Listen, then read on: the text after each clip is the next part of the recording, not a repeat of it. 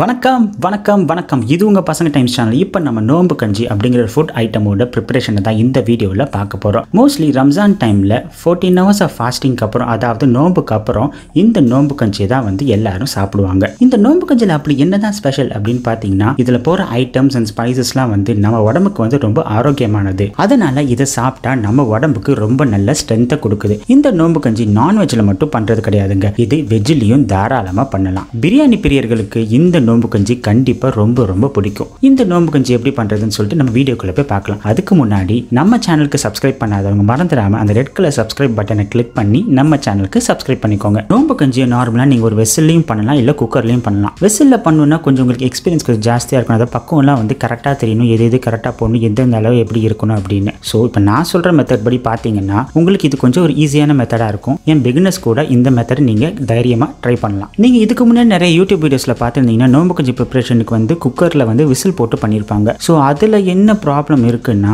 நம்ம ஒரு சின்ன தப்பு ஏதாவது ஒன்று பண்ணிட்டா அந்த விசில் போட்டு பண்ணுற மெத்தடில் நம்ம நோம்பு கஞ்சி வந்து குலையிறதுக்கும் சான்ஸ் இருக்குது இல்லாட்டினா வந்து உள்ளே இருக்கிற தண்ணியெல்லாம் வெளியே வந்து அந்த நோம்பு கஞ்சியும் ஸ்பாயில் ஆக சான்ஸ் இருக்குது உங்கள் கிச்சனும் ஸ்பாயில் ஆக நிறையவே சான்ஸ் இருக்குது ஸோ இப்போ நான் சொல்கிற மெத்தட் வந்து குக்கரில் தான் பண்ணுறோம் பட் விசில் இல்லாமல் பண்ணுறோம் ஸோ இது வந்து உங்களுக்கு ஒரு புதுவிதமான ஒரு ஐடியாவாக இருக்கும். இந்த ரெசிபி எல்லாருக்குமே ஒரு ஈஸியான ரெசிபியாக இருக்கணும் அப்படிங்கிறதுக்காக நான் ரெண்டே ரெண்டு பேருக்கு மட்டும் நோம்பு கஞ்சி எப்படி செய்கிறது அப்படின்னு வந்து ப்ரிப்பரேஷனை சொல்ல போகிறேன் நம்ம மூணு லிட்டர் குக்கரில் இந்த நோம்பு கஞ்சியை ப்ரிப்பேர் பண்ண போகிறோம் பாஸ்மதி ரைஸ் நோம்பு கஞ்சிக்கு போட்டிங்கன்னா ரொம்ப நல்லாவே இருக்கும். ஸோ அதனால் ஹண்ட்ரட் கிராம்ஸ் ஆஃப் பாஸ்மதி ரைஸை ஆஃபாக கிரைண்ட் பண்ணிக்கணும் மிக்சியில் அதுக்கப்புறம் அதை ஒரு half an hour to one hour தண்ணியில் ஊற வச்சுக்கணும். நெக்ஸ்ட் பச்சைப்பருப்பு ஒரு டுவெண்ட்டி ஃபைவ் கிராம்ஸ் எடுத்து அதை ஒரு ஆஃப் அன் ஹவர் தண்ணியில் ஊற வச்சுக்கோங்க. கொத்துக்கறி மட்டன் ஒரு நூறு கிராம் எடுத்து நல்லா கழுவிட்டு தண்ணியில் ஊற வச்சுக்கோங்க. கீ வந்து ஒரு three spoons oil two spoons மிளகாத்தூள் வந்து ஒரு கால் கரண்டியிலிருந்து அரை கரண்டி நீங்கள் யூஸ் பண்ணிக்கலாம். அது உங்கள் ஸ்பைசினஸ் தகுந்த மாதிரி. கிரீன் சில்லி வந்து ஒரு ரெண்டு ஆனியன் மீடியம் சைஸ் வந்து ரெண்டு டொமேட்டோ நாட்டு தக்காளி வந்து ஒரு மீடியம் சைஸ் வந்து ரெண்டு.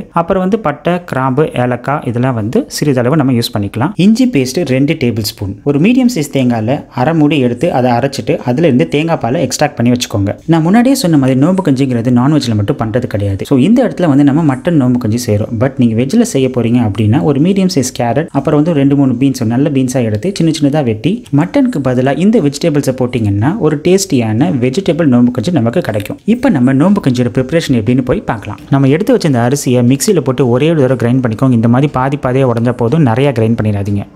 நம்ம எக்ஸ்ட்ராக்ட் பண்ணி வச்சிருந்த தேங்காய் பால் கொத்துக்கறியை தண்ணியில் ஊற வச்சுருக்கோம்.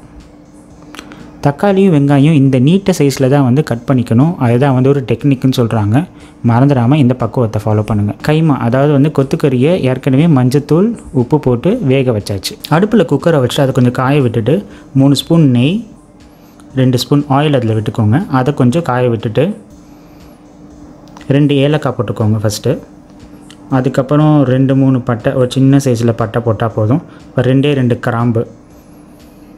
அப்புறம் நம்ம நீட்டமாக ஏற்கனவே வெட்டி வச்சுருந்த வெங்காயத்தை அதில் போட்டுக்கிட்டு கொஞ்சம் அப்படியே வதக்கி விட்டுக்கோங்க. இதோ லைட் ப்ரௌனில் வர்ற மாதிரி கொஞ்சம் நீங்கள் வதக்கி விட்டுக்கணும். இந்த மாதிரி. நெக்ஸ்ட்டு இஞ்சி பேஸ்ட்டு அதில் கொஞ்சம் போட்டுக்கணும். அந்த இஞ்சி பேஸ்ட்டோட அந்த பச்சை வாசம் போகிற லெவல் வரைக்கும் இதை நீங்கள் வதக்கி விட்டுக்கிட்டே இருக்கணும். நெக்ஸ்ட்டு இந்த பச்சை மிளகா தக்காளி வெட்டி வச்சுருந்தது. நான் ஒரு பச்சை மிளகா போட்டிருக்கேன். நீங்கள் ரெண்டு பச்சை மிளகா போட்டுக்கோங்க. ஸ்பைஸியாக கொஞ்சம் வேணும்னா. அந்த சைஸில் வந்து அந்த தக்காளியை வெட்டிட்டு நல்லா வதக்கி விட்டுக்கோங்க.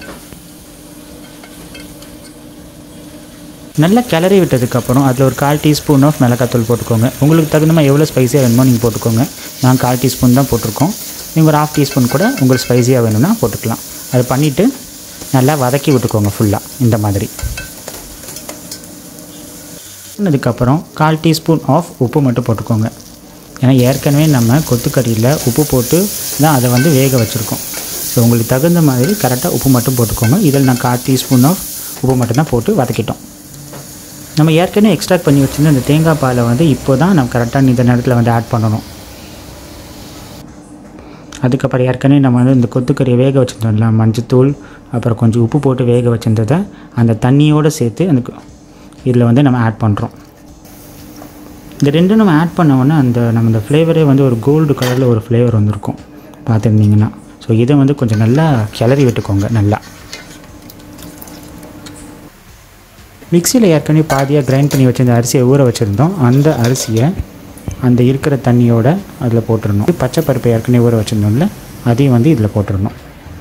போட்டுட்டு நம்ம வந்து நல்லா கிண்டி விட ஸ்டார்ட் பண்ண வேண்டியது தான் கிண்டி விட்டுட்டு அந்த குக்கரை வந்து நீங்கள் பாதி மூடின மாதிரி இந்த லெவலில் மூடின மாதிரி வச்சுட்டு கொஞ்ச நேரம் அப்படியே விட்டுருங்க. இந்த மாதிரி தக்க தக்க தக்க தக்க நல்லா கொதிக்கணும். ஃப்ளேம் பார்த்துக்கோங்க. ரொம்ப நிறையாவும் இல்லை கம்மியாகவும் இல்லை. ஸோ மீடியம் ஃப்ளேமில் வச்சிடணும். ரொம்ப நிறைய ஃப்ளேம் வச்சா அடி பிடிச்சிரும் அப்படின்னு சொல்லுவாங்க. நம்ம ஓப்பன் பண்ணிக்கிட்டு அப்பப்போ நம்ம பார்க்கணும் கன்சிஸ்டன்சி எப்படி இருக்குன்னு. இப்போ கொஞ்சம் தண்ணியாக தான் இருக்குது ஸோ மறுபடியும் வந்து ஒரு கிண்டி கிண்டிட்டு மறுபடியும் மூடி வச்சாச்சு. அப்படி ஓப்பன் பண்ணி பார்க்கும்போது இப்போ தண்ணி கொஞ்சம் குறைஞ்சிருக்கு. அந்த அரிசி கொஞ்சம் மேலே வந்த மாதிரி இருக்குது இங்கே பார்த்தீங்கன்னா. ஸோ அந்த அரிசியை வந்து நம்ம அந்த கரண்டியை வச்சு கொஞ்சம் அந்த மசிச்சு விடுற மாதிரி கொஞ்சம் அப்படி இப்படி மசிச்சு விட்டுட்டு நல்லா கொஞ்சம் கிண்டி விட்டுறோம் கிண்டி விட்டு மறுபடியும் அதே மாதிரி பாதி மூடி அப்படியே மூடி வச்சிடலாம்.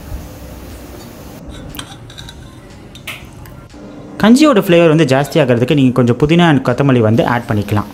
இங்கே பாருங்க நல்லா கப கப நல்லா குளிச்சுட்ருக்கு நல்லா அந்த பிரியாணி ஸ்மெல் மாதிரி சூப்பராக வருது. நல்லா செம்ம ஸ்மெல்லாக இருக்குது பார்த்துக்கோங்களேன். ஸோ இந்த மாதிரி லிக்விட் ஸ்டேட்டில் நம்ம அப்படியே வந்து அடுப்புலேருந்து இறக்கி வச்சிடலாம்.